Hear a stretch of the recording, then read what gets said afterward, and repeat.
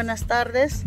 Eh, para hacerles saber que estamos muy, muy este, entusiasmadas y muy alegres de haber recibido este reconocimiento, porque así están siendo nosotros un poquito de mayores de edad, pero lo hemos hecho con todo gusto.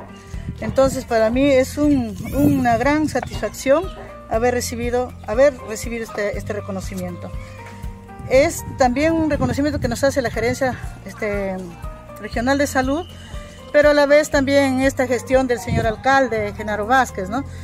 Porque en sí, para decirles, nosotros llevamos más de 15 años en el trabajo vecinal. Desde el año 98, cuando no había acá, este no tenía ni, ni el nombre de asentamiento humano, nosotros la luchamos para que se dé un reconocimiento de asentamiento humano. Luego vino la titulación de, de, este, de este predio. Entonces son más de 15 años que la verdad este reconocimiento nos llega, como se dice, con mucha alegría. Para decir también que el reconocimiento lo hago a las personas que desde el primer año del 98 apoyaron en, esta, en este trabajo. Muy especial a la primera señora que me apoyó, a la señora Soledad Moreno Casana. Luego hubieron bastantes amistades que nos apoyaron aunque con unos altos y bajos, algunos a veces se retiraban, ¿no? Y finalmente, acá con mi amiga, la compañera Anita, con ella sí, hasta el final no, no abandonó el barco, no abandonó el barco, perdón.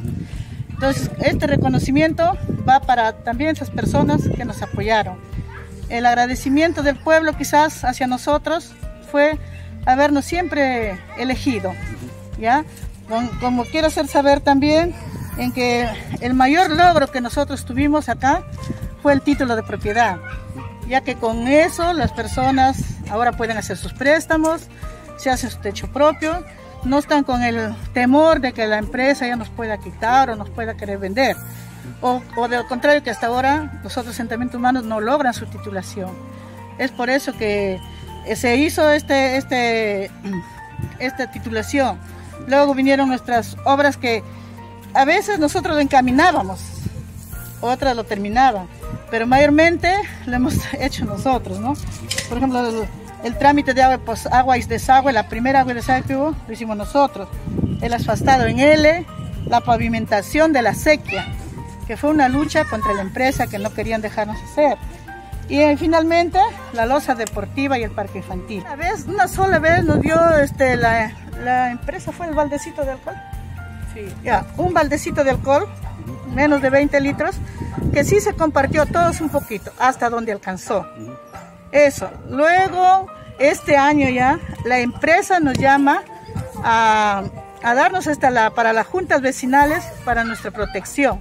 Nosotros lo hemos compartido con las personas que nos han apoyado, porque en ese lapso de este tiempo a veces también nos hemos infectado y teníamos que ver a otras jóvenes que nos apoyen.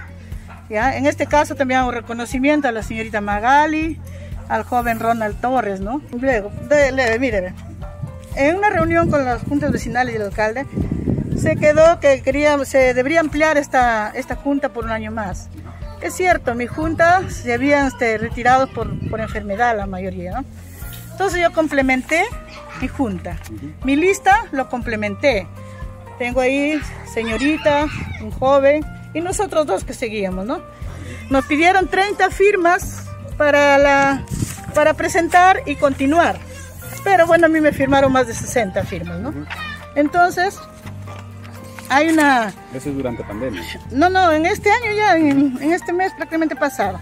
Entonces, ¿qué pasa? Que según nos dicen que hay una resolución donde se tiene que actuar nuevamente haciendo elecciones.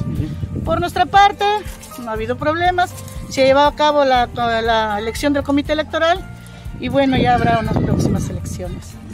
¿Ustedes se van a volver a...